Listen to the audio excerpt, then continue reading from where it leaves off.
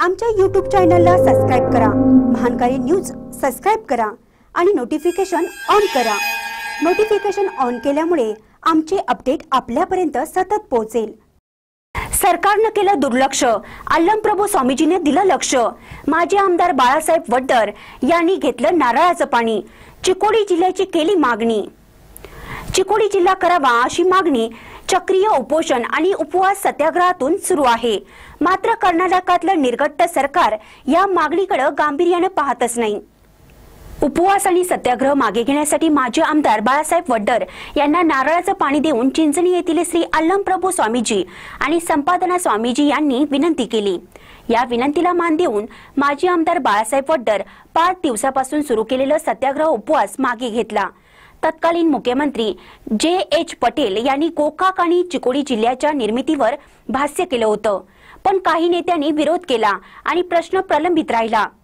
चिकोडी जिल्हा निर्माण व्हावा यासाठी प्रयत्न करणाऱ्या शिष्टमंडळानं दोनदा भेट घेतली.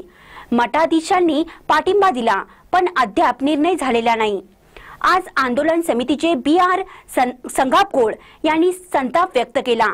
माजी आमदार दत्तू हक्काया गोळ बसवराज ठाके बाळासाहेब संगरोळी प्राचार्य S I Hanji M B Patil Tukaram Koli Suresh Bakude M A Patil Sanju Badiger Tyagraj Kadam Sushant Prashant Hukkere Parashuram Malge Chandrakant Hukkere आदी यावेळी उपस्थित होते महानकारी न्यूज साठी चिकोडीहून पद्मराज चौगुले ಜೆ ಎಚ್ ಪಟೇಲ್ ಇದ್ದಾಗ ಆದ್ರೆ ಇಲ್ಲಿ ಜನಪ್ರತಿನಿಧಿಗಳೇ ಬಂದು ಬೇಡ ಅಂತ ಹೇಳಿದ್ರು, ಆ ಕಾರಣಕ್ಕಾಗಿ ಅವ್ರು ನಿಂತೋಯ್ತು ಈಗಲೂ ನಾನು ಈಗಲೇ ಮಾಡಿಬಿಟ್ರೆ ಮತ್ತೆ ಅದೇ ಪರಿಸ್ಥಿತಿ ಮುಂದುವರಿತೆ ಆ ಕಾರಣಕ್ಕಾಗಿ ಅವರೆಲ್ಲನೂ ಒಂದು ಕರೆದು ಕೇಳಿ ವಿಶ್ವಾಸ ತಗೋತೀನಿ ಅನ್ನೋ ಅಂತ ಮಾತನ್ನು ಹೇಳಿದ್ರು.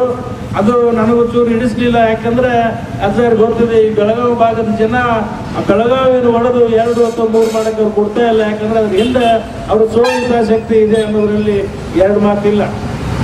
ಅಲ್ಲಿ ವ್ಯಾಪಾರಸ್ಥರು ವ್ಯವಹಾರಸ್ಥರ ಹಿತಕ್ಕಾಗಿ ಎಂತೆಂಥ ಬುದ್ಧಿಜೀವಿಗಳು ಕೂಡ ತಮ್ಮ ಬುದ್ಧಿಯನ್ನು ಬಲಿ ಕೊಟ್ಟರು ಅನ್ನೋ ಸಂದರ್ಭವನ್ನು ಮಾತನ್ನ ಒಂದು ನೋವಿನಿಂದ ಹೇಳ್ಬೇಕಾಗತ್ತೆ. ಈ ಭಾಗದ ಒಬ್ಬ ನಾಡೋಜಿ ಅನಿಸ್ಕೊಂಡವ್ರು, ನಾಡೋಜಿ ಪ್ರಸಿದ್ಧಪಟ್ಟವರು ಪಾಟೀಲ್ ಪುಟ್ಟಪ್ಪ ಅವರು ಬೆಳಗಾವಿ ಹೊಡಿಬಾರದು ಅಂತ ಹೇಳಿದ್ರೆ ಬಹಳಷ್ಟು ವಿಷಾದನೆ ಸಂಗತಿ ನನ್ನ ಮನಸ್ಸಿನಲ್ಲಿ. ಆ ಕಾರಣಕ್ಕಾಗಿ ಭಾರತ್ ಮಾತಾಡಕ್ ಹೋದ್ರೆ ಬೆಳಗಾವಿಯ ಎಲ್ಲ ಮುಖಂಡರು ಕರೆದು ಕೇಳಿದಾಗ ಈ ಚಿಕ್ಕೋಡಿ ಜಿಲ್ಲೆ ಅಥವಾ ಬೆಳಗಾವಿ ಹೊಡೆಯೋದ್ರ ಬಗ್ಗೆ ಅವ್ರು ಯಾರು ಒಲವು ತೋರಿಸೋದಿಲ್ಲ. ಅವ್ರ ಕಡೆದು ಒಪ್ಪಿಗೆ ಸಿಗೋದು ಕಷ್ಟ ಇದೆ.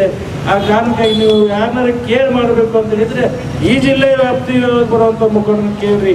ನೀವು ಸ್ವಪಕ್ಷದವ್ರನ್ನಾದ್ರೆ ಕೇಳ್ರಿ. ಇಲ್ಲ ಸರ್ವ ಪಕ್ಷದವ್ರನ್ನಾದ್ರೆ ಕೇಳ್ರಿ. ನೀವು ಚಿಕ್ಕೋಡಿ ಜಿಲ್ಲೆ ವ್ಯಾಪ್ತಿಗೆ ಬರುವಂತ ಮುಖಂಡರು ಮಾತ್ರ ಕೇಳಿ ಒಂದು ತೀರ್ಮಾನ ತಗೊಳ್ರಿ ಅಂತ ಹೇಳಿ ನಾನು ಅವ್ರು ಜೋರಾಗಿ ಹೇಳಬೇಕು ಅಂದ್ಕೊಂಡಿದ್ದೆ. ಕಾರಣಾಂತರಗಳು ನನಗೆಲ್ಲ ಅವಕಾಶ ಸಿಗಲಿಲ್ಲ. ಅದನ್ನೇ ಒಂದು ಪತ್ರ ಮುಖಾಂತರ ಮುಖ್ಯಮಂತ್ರಿ ಅವರು ಬರೆದು ನಾನು ಇಲ್ಲಿ ಏಳನೇ ತಾರೀಕಲ್ಲಿ ಬಂದು ಎಂಟನೇ ತಾರೀಕಿಗೆ ಇಬ್ಬರು ಜನ ಪೂಜ್ಯರ ಆಶೀರ್ವಾದ ಪಡ್ಕೊಂಡು